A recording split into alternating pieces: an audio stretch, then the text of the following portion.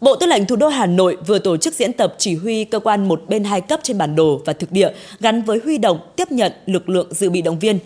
Năm nay, lực lượng vũ trang thủ đô tiếp tục có nhiều đổi mới về tổ chức và phương pháp điều hành, thực hành diễn tập. Các đơn vị đã đưa vào nhiều nội dung mới, thử thách bộ đội, bảo đảm cho diễn tập sát điều kiện thực tế, phù hợp với khả năng hiệp đồng tác chiến, bảo vệ khu vực phòng thủ của thành phố. Trong cuộc diễn tập này, Bộ Tư lệnh Thủ đô Hà Nội chỉ đạo Sư đoàn 301 diễn tập cùng cụm tác chiến phòng thủ phía Nam gồm các huyện Ứng Hòa, Phú Xuyên, Mỹ Đức. Việc phối hợp này nhằm nâng cao trình độ chỉ huy hiệp đồng tác chiến giữa bộ đội chủ lực với bộ đội địa phương và dân quân tự vệ trong khu vực phòng thủ thành phố Hà Nội. Ban chỉ huy quân sự huyện Phú Xuyên à, chủ động phối hợp chặt chẽ với sư đoàn bộ binh 301 làm tốt công tác chuẩn bị tham mưu cho lãnh đạo huyện ủy ủy ban chuẩn bị các hệ thống văn bản lãnh đạo chỉ đạo và xây dựng hệ thống văn kiện diễn tập qua cái nội dung diễn tập này tôi thấy rằng là à, đã nâng cao một bước nhận thức từ lãnh đạo đến thủ trưởng các phòng ban ngành của huyện tạo điều kiện rất thuận lợi cho xây dựng cái khu vực phòng thủ của huyện Phú Xuyên thời gian tới.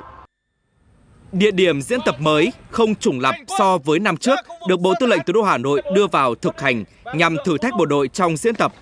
Quá trình diễn tập, bộ đội được tăng thời gian hành trú quân trong chiến đấu, trong đó có tiến hành vượt sông và xử lý tình huống trong chiến đấu. Về địa hình, tiếp tục diễn tập ở một cái địa hình mới. Đây cũng là một cái điều kiện cho cán bộ chiến sĩ của sư đoàn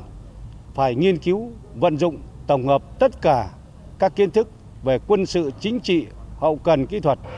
để hoàn thành nhiệm vụ diễn tập theo kế hoạch. Đồng thời, quá trình diễn tập thì thể hiện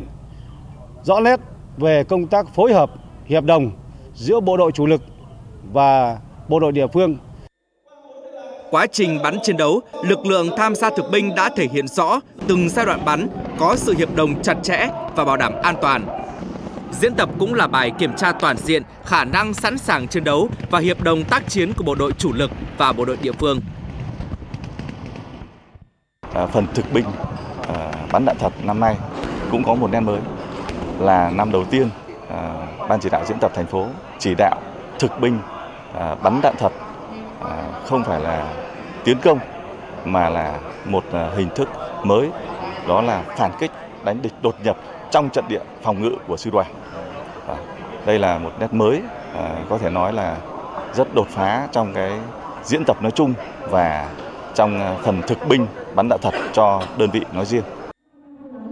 Diễn tập giúp đội ngũ cán bộ chỉ huy các cấp trong lực lượng vũ trang thủ đô nắm chắc cơ sở lý luận và thực tiễn loại hình tác chiến. Thông qua đó, tiếp tục bồi dưỡng, nâng cao trình độ chỉ huy, hiệp đồng chiến đấu của các cơ quan đơn vị, đồng thời vận dụng vào thực tế sẵn sàng chiến đấu và bảo vệ khu vực phòng thủ thành phố ngày càng vững chắc.